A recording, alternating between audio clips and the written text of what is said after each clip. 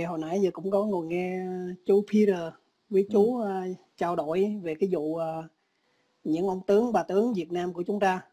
Ừ. thì uh, nói nói uh, lại cái lịch sử á. Sự thật á cái đó không phải là một cái quốc kỳ đại diện cho dân tộc Việt Nam. Đúng rồi.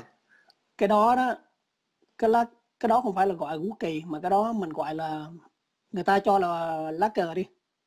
Thì cái lá cờ đó thì uh, đại diện cho cái chế độ Việt Nam Cộng Hòa hồi xưa ừ. thì cái chế độ Việt Nam Cộng Hòa hồi xưa đó thì ai dựng lên thì dĩ nhiên là Mỹ nó dựng lên thì uh, cách đây khoảng là 10 năm mười mấy năm con có nghe trong uh, KBC ở hải ngoại ừ. uh, có dịp có dịp cũng con có nghe chú Peter Nguyễn và bà Phùng Quỳ Châu ừ. với những người trong KBC ở hải ngoại là nói cái lịch sử về cái lá cờ uh, Việt Nam Cộng Hòa đó là lá cờ vàng ba chục đỏ đó. Ừ. thì uh, cái lá cờ đó đó là đại diện không phải là đại diện cho ba miền mà đại đại diện cho tam vị nhất thể Chúa Cha Chúa Con và Thánh Thần. Cho nên đó, rồi. những người cho nên những người công giáo đó họ lúc nào cũng tôn thờ cái lá cờ đó tại vì đại diện cho ba ngôi mà. Chính xác. Cho nên cho nên đại diện cho ba ngôi cho nên họ tôn thờ và con sẵn đây đó là con khuyên những người mà theo đạo Phật hay là đạo ông bà nên mở mang cái tư duy đừng để những người công giáo ở bên này lợi dụng suối bại để đi Chính làm xác. mấy cái chuyện để đi làm mấy cái tào chuyện tào lao không không đâu vì đâu bây giờ nè nếu mà những người mà theo đạo ông bà đó mà đi ủng hộ với những cái đám mà công giáo đó mà đi tới uh, uh, tòa bà uh, quốc hội của Mỹ đó là bây giờ đó họ rất là sợ.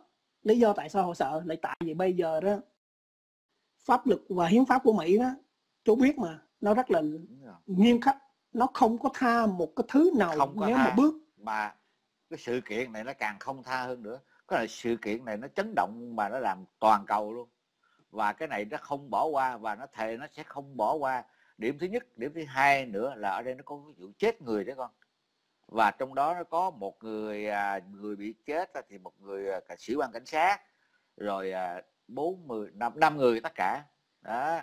Và giống như nãy giờ anh Peter nói đó là nó giết người một cách giả man. Nó lấy cái bình cứu hỏa đập vô đầu người ta mà người ta nhảy đạch đạch đạch đạch, người ta chết cái điều đó không nói. Nhưng mà ở đây ta muốn nói cái điều này là có nghĩa là cái thể chế dân chủ của cái à, nước Mỹ nó bị xâm phạm một cách ư là giả man. Đó. và trong đó mình chỉ ngồi mình chỉ buồn buồn là trong chính cái lá cờ trong đó có, có một cái lá cờ của người Việt.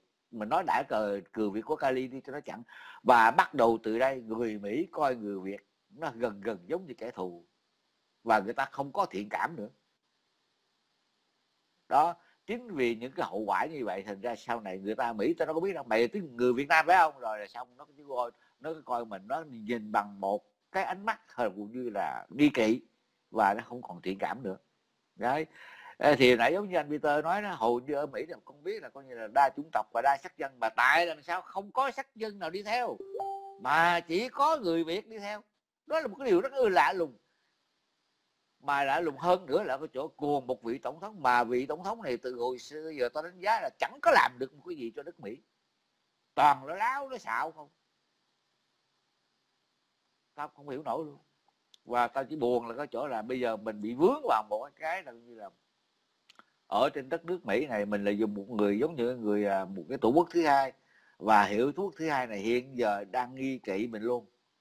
Bị bị ảnh hưởng, bị ảnh hưởng toàn bộ con nói đi con.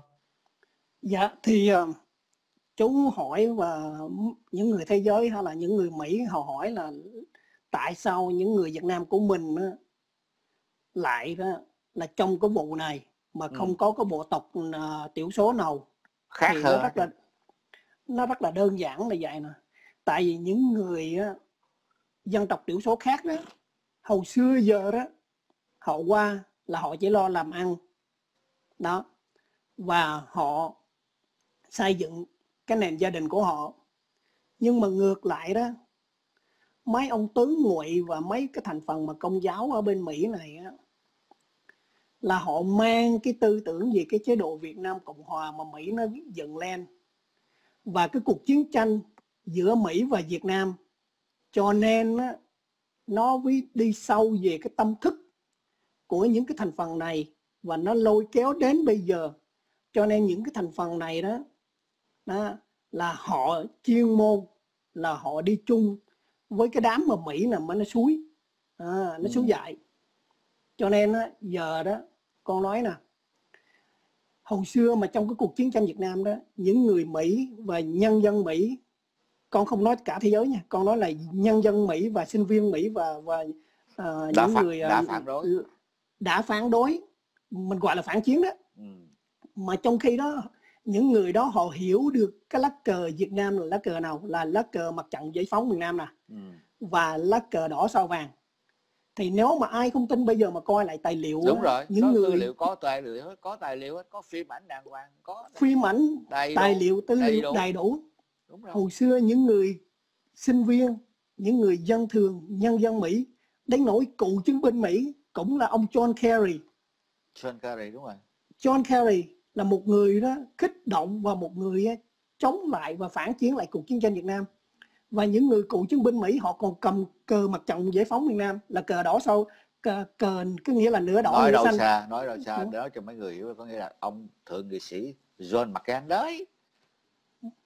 Đó, thượng nghị sĩ và sau này thì... ông đi về Việt Nam ông đủ ông đã, đã đã gần như là ông đã hối hận và ông làm điều đó. Nhưng mà cái điều đó mình nói nói thôi mấy cái ông này không không thể nào mình nói chữ cải tạo thì nó cũng hơi quá đáng, nhưng mà thực chất mấy ông là coi như là không bao giờ ông từ bỏ cái điều đó. Và ông hận thù đất nước Việt Nam một cách tư là vô lý. Nó vô lý đến mức độ hầu như là giống như kiểu tao nói mấy ổng là đầu trong mấy ổng toàn là tàu húi đất sét không. Mình thấy rõ ràng không? Đầu óc của gì không có mở mang, không có nghĩ gì cả. Thôi mình không có nói mà mình chỉ nói là cái điều này là bắt đầu từ giờ phút này, người Việt Nam mình ở xứ Mỹ này bắt đầu sẽ khổ khổ đây là cái gì?